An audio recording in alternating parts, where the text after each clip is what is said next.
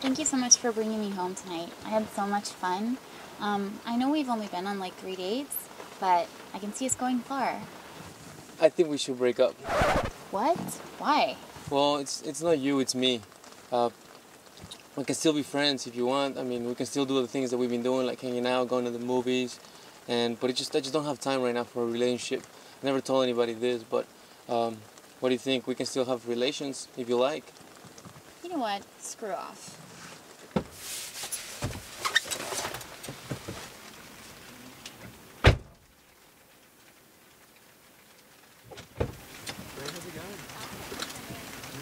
Couldn't even wait until I got home? Well, I'm single. Pig. Looking for love in all the wrong places? We all can relate. And now, thanks to me, so can she. Ladies, we need a good love story with some good advice. And now we have it. The Good Catch. Buy it online and go fishing.